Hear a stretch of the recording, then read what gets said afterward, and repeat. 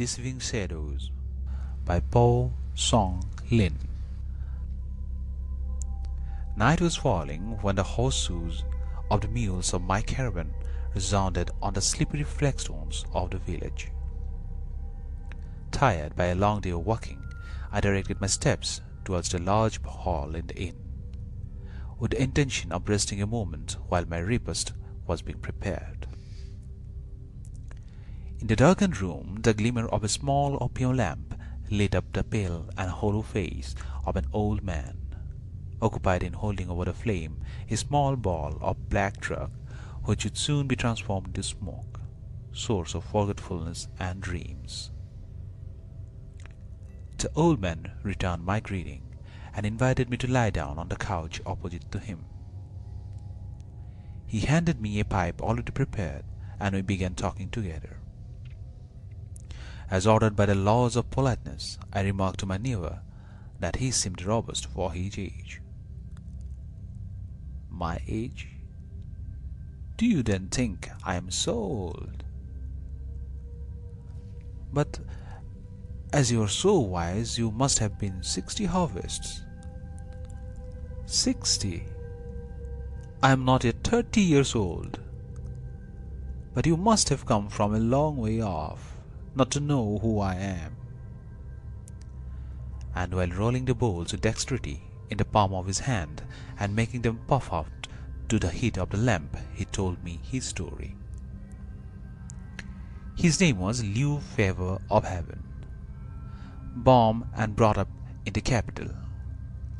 He had been promoted six years before to the post of sub-prefect in the town on which our refugee was dependent.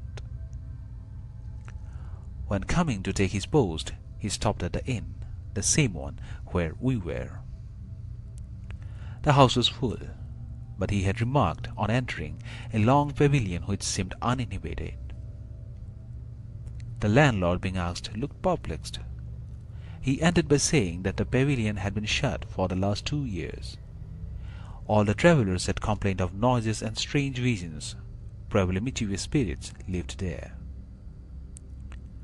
Favor of Heaven, having lived in the capital, but little believed in phantoms. He found the occasion excellent to establish his reputation in braving imaginary dangers. His wife and his children implored him in vain. He persisted in his intention of remaining the night alone in the haunted house. He had lights brought, installed himself in a big armchair, and placed across his knees a long and heavy sword. Hours passed by. The sonorous noise of the gong, struck by the watchman, announced successively the hours. First of the pig, then of the rat. He grew drowsy. Suddenly he was awakened by the gnashing of teeth. All the lights were out. The darkness, however, was not deep enough to prevent his being able to distinguish everything confusedly.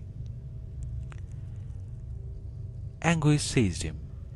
His heart beat with violence. His staring eyes were fixed on the door. By the half-open door he perceived a round white mass, the deformed head of a monster, who, appearing little by little, stretched long hands with twisted fingers and claws. Favor of Heaven mechanically raised his weapon, his blood frozen in his veins. He tried to strike the head, whose indistinct features were certainly dreadful. Without doubt, the blow had struck, for a frightful cry was heard. All the demons of the inferior regions seemed let loose with this yell. Calls were heard from all sides. The trellised frames of the windows were shaken with violence. The monster gained the door. Favor of Heaven pursued him and threw him down.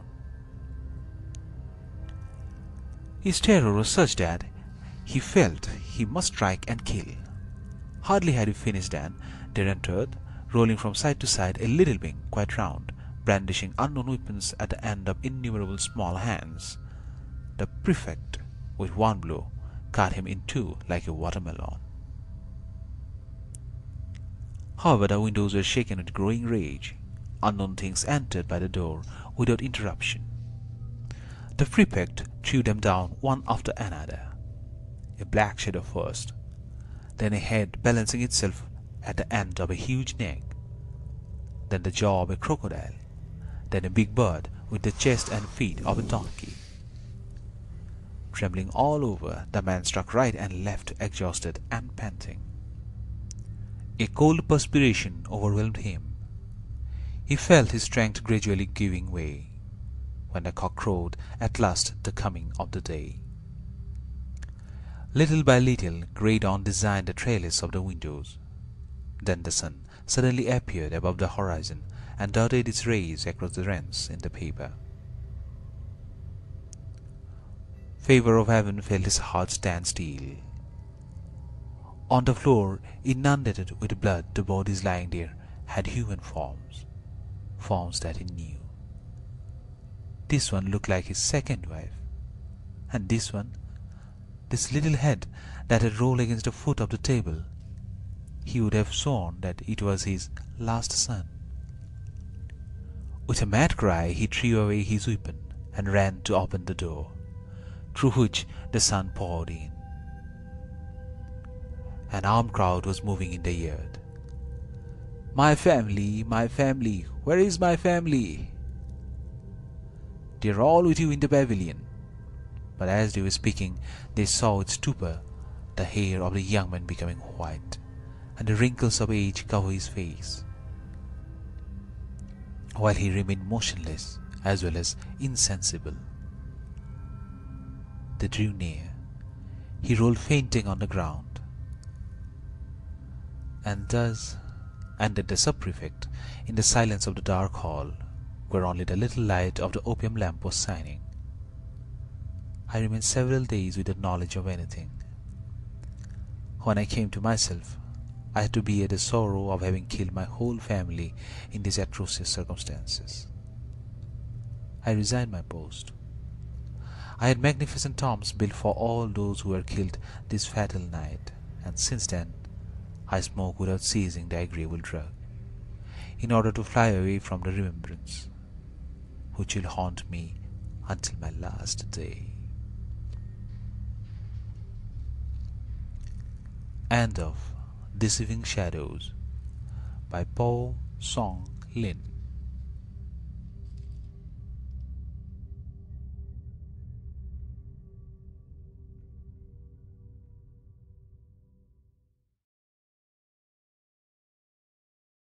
You